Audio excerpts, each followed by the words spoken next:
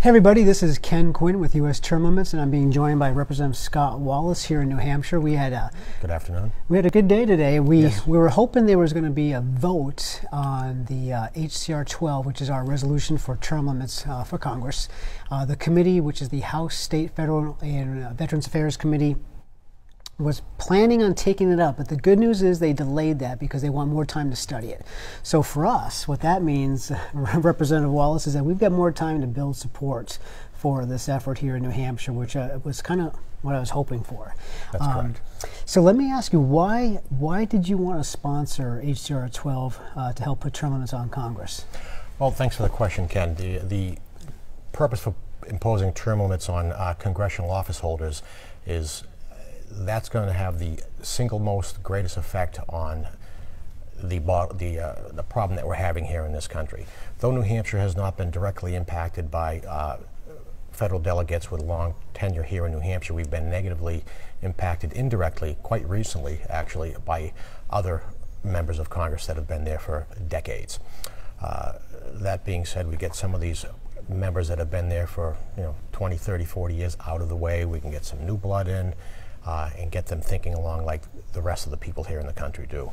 Now, that's a great point because there's a number of small states where their congressional delegation really has no voice in Washington because of the seniority that these other folks have decades in there. And so this is help level the playing field amongst the states, wouldn't it? Correct. New Hampshire would benefit greatly from that. Uh, uh like you uh, mentioned, we are one of the smaller states with one of the smallest federal delegations, and where it turns over rather frequently, you're absolutely right. We don't have the benefit of that institutional knowledge and experience in Congress, and uh, frankly, we get uh, run roughshod over quite regularly uh, at Congress. Yeah, so th this is not only important for the country, but specifically New Hampshire and some other states uh, that are smaller that uh, could really have a, a, greater voice in D.C. So that, that's a great point. There's so many great reasons for term limits. It gives the voters more of a choice of the ballot box.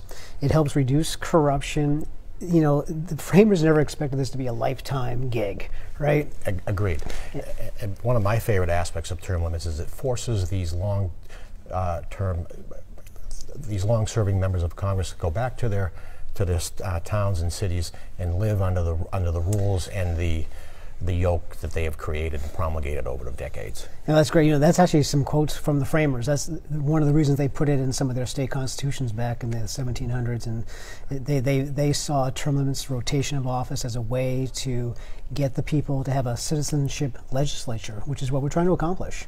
Correct, and uh, probably not a lot of the people are aware, but we had uh, term limits uh, on federal delegation on our federal delegation here in New Hampshire up until I believe 1996, yep.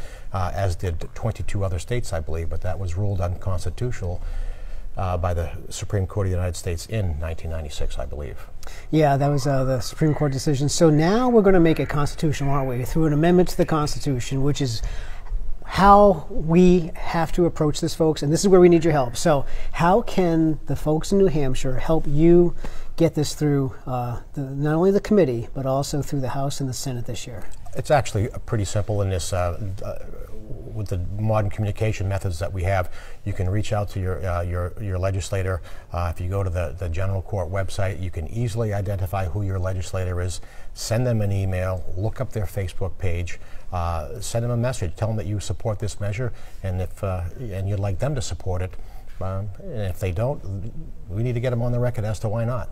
Oh, that's great. Absolutely. So, folks, you've heard it here from Representative Wallace, and you've been hearing it from me for quite a while. We've got to get this passed in New Hampshire.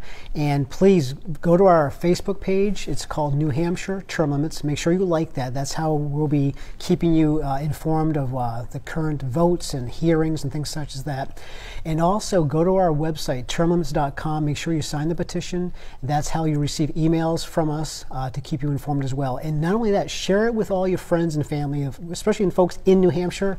We need to get as many folks behind this as possible, and uh, I'm feeling good. I'm feeling confident that we can get this done this year.